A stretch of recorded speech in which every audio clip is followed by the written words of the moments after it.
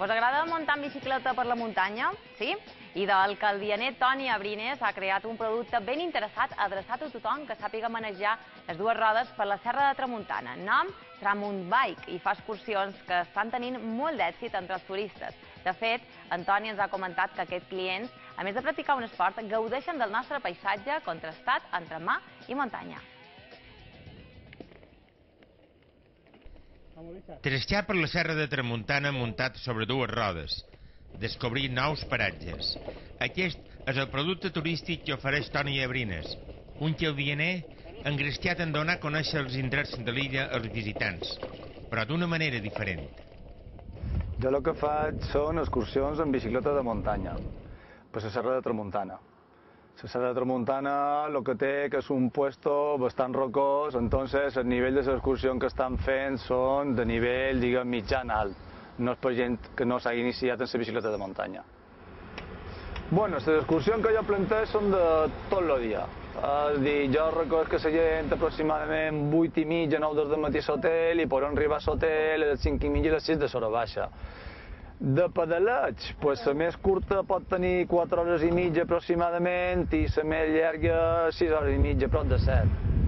Ara, no, no deixa de ser el meu un producte vacacional. No?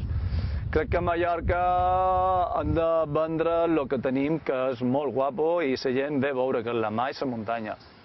Fer quilòmetres i fer esforç se pot fer qualsevol part.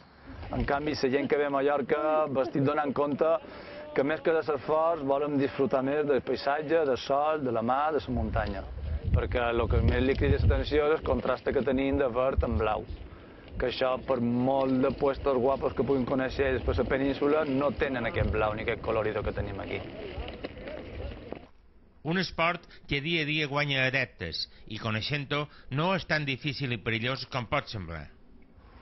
El que passa és que la gent que fa bicicleta de muntanya és més difícil de veure. Sempre vos queda molt més en la gent que fa carretera, però per la muntanya sí que hi ha bastanta afició. Muntanya tens l'opció que te cau més vegades, perquè el terreny és molt més irregular.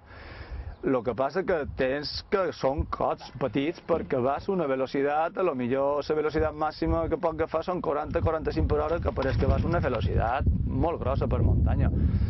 En canvi, a la carretera sí que he conegut gent que s'ha fet més mal, ja només per fet de la velocitat que la doble o triplica la velocitat que pot anar per la muntanya.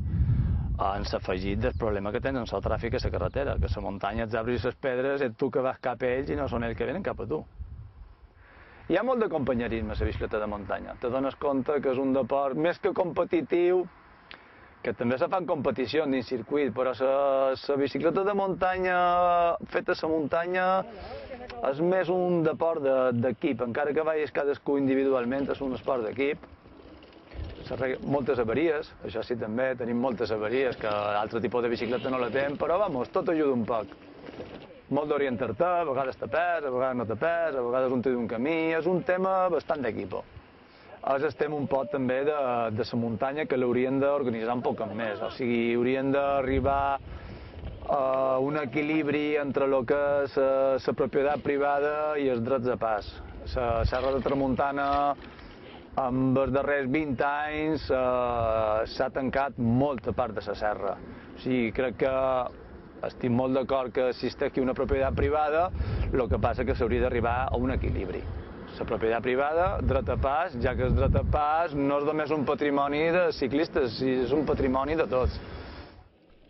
Una bona muntura i bones llames, fonaments imprescindibles per arribar sense al final de la ruta.